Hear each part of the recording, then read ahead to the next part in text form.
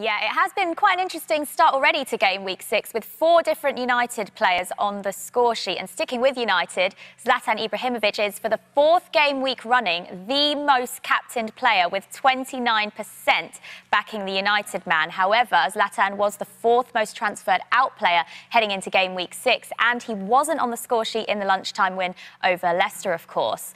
Sergio Aguero, though, was brought back in by 411,000 new managers ahead of the weekend, with many of them immediately showing the faith by giving him the captaincy. I'm one of those people. 41 of the top 100 have gone with Aguero as captain. Only six have opted for Ibrahimovic. I'll be keeping you up to date with all the fantasy football news throughout all of today's live. In the Championship, Brighton lead Barnsley at half-time by a goal to nil. Glenn Murray's fourth goal of the season. Bristol City lead by a goal to nil. Tammy Abraham uh, into double figures uh, this season in all competitions. Leeds lead Ipswich by a goal to nil. Norwich a 1 0 up against Burton. Martin Olsson's first goal of the season for Norwich. And it's QPR Birmingham 1 0 at half time. Reading lead Huddersfield by a goal to nil. Huddersfield's Roy Beerens for Reading, with leaders Huddersfield down to 10 men, remember. Uh, Nottingham Forest 1 0 up against Sheffield Wednesday. Forest looking for their first away win of the season.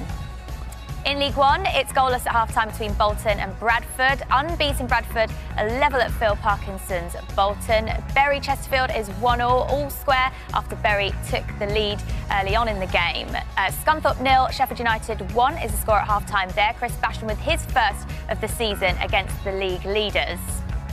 In League Two, the early kickoff uh, earlier on lunchtime finished with a Grimsby win over Mansfield 1-0. Omar Bogle's eighth goal of the season settled the early kickoff. Luton are winning 2-1 against Doncaster at half-time. Uh, they're ahead after James Coppinger's opener for the visitors. Hartlepool lead Plymouth by a goal to nil. Nathan Thomas is against the leaders.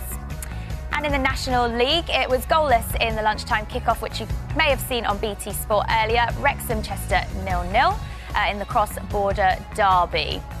Uh, now, Forest Green are leading Braintree by a goal to nil. Marsh Brown fought the visitors with that goal. Dagenham also winning away from home today against Bromley. Corey Whitely has the leaders ahead. And in the Scottish Premiership, Celtic 2, Kilmarnock 1.